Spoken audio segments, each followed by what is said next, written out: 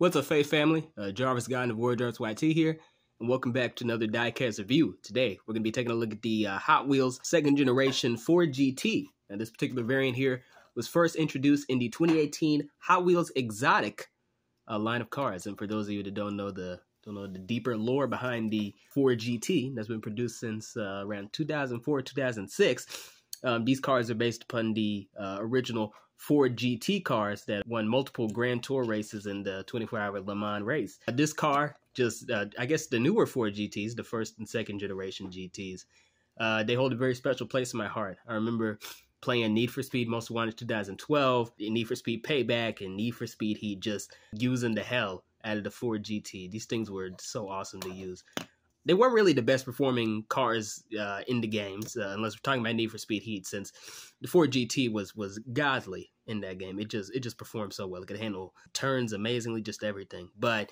uh, these cars weren't always the best that you could get in the game, but just the design on them, just the I guess the sleek and honestly futuristic design, I really appreciated how they were able to do that while at the same time keeping the keeping the I guess classic Ford GT iconography and uh, visual design heritage. I think they did a really good job with that, in particular the Ford designers. And yeah, it's just it's just good to see, I guess, retro style cars that are just directly honoring uh, the legacy of what came before. You don't see that with a lot of cars nowadays. You, you don't even get a lot of uh, retro styled cars. So it's just it's just very cool to see that.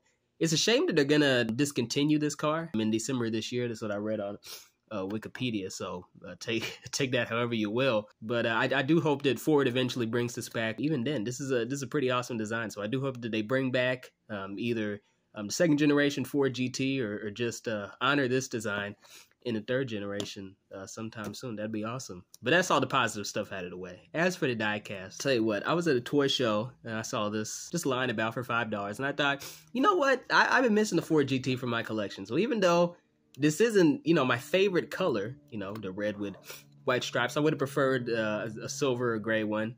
I'm like, okay, well, you know what? I'll, I'll take what I can get. It'll, it'll, be nice to have a Ford GT in my collection. This is uh, this is not a good diecast. I'll say that right off the bat. One of the key things about the Ford GT, and you'll know this if you've seen them from behind, is that there there are like cavities in the back. There's open air. And to me, to me, that's that's important for the car's design because it shows that it doesn't need that space. It can just it can just sort of do what it wants with the design because this is unnecessary because it has all the power it needs in the center.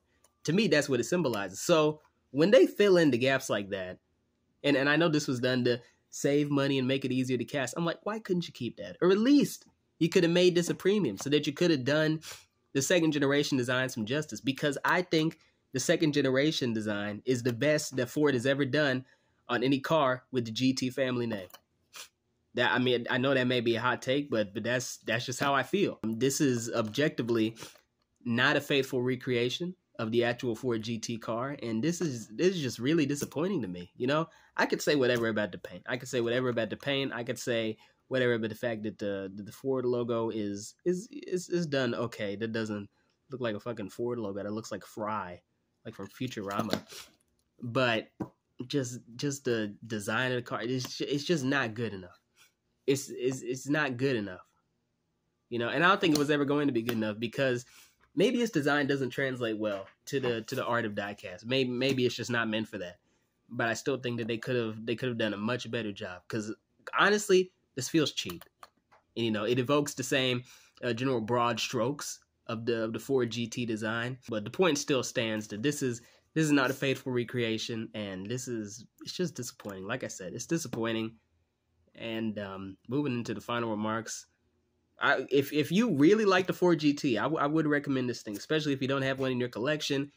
But just know that this is not a great diecast, and and you are not getting the highest quality that that Mattel could have given you. If you see it at a store, I'd say definitely pick it up. But if you see it at a toy show for like five dollars, you know what? Forget what I said earlier in my recommendation. Um, I wouldn't buy this for five dollars again. If I had to go back and do it, I would have just just waited until I saw the friggin' Walmart or Dollar General or something because this is not worth five dollars. This is this is hardly worth uh, ninety six to a dollar and, and, and twenty five cents. I don't, I don't even think it's worth that much. I think it might this might be a fifty cent Hot Wheels car, and we're taking it back to the sixties with this shit, man. Design, it's just it's just such a shame. Just the cavities, man. What happened to the cavities? This is like this is like the one time that I'm wanting cavities. and and I don't have them. What a sick joke! What a sick joke! Either way, um, that's been my review of the 2018 Ford GT. If this was any other car, if if hell, if this was an unlicensed car, I'd probably be um, a lot less harsh on this car. But I have such an attachment to the Ford GT. I know what it should look like. The fact that, it, that it, it's not it's not faithful to reality. Know, it really does piss me off, man. If if only I knew less about the Ford GT then then I'd be raving over this because they kept the general silhouette of the design, but other than that, man, this this doesn't feel like the same car. It doesn't feel like the same car. It's just it's just sort of shoddy. It's not McDonald's Happy Meal toy level, like I always say, but this is this is not high quality work. Either way, that should that should wrap things up. I don't want to go on too long. Hope y'all enjoyed the video. Pretty much all I have to say. Uh, Jarvis gotten out. Have a great night or morning whenever you're watching this.